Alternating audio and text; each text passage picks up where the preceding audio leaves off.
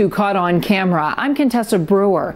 A shooting star is the name many use for the path of light a meteor makes when it enters Earth's atmosphere. It's an incredible sight that few people have the opportunity to witness. And this is your chance. November 20th, 2008. A peace officer in the small Canadian town of Devon, Alberta, is cruising the streets at 5:30 in the evening when suddenly a ball of fire blazes through the sky.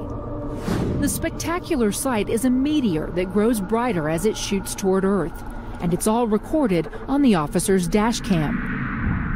A meteor this brilliant is known as a fireball. The International Astronomical Union defines a fireball as a meteor brighter than any of the planets. Most meteors burn up in the atmosphere, but, but some crash into Earth, where they make craters and break into smaller pieces called meteorites. Several meteorites are found after this recording is made.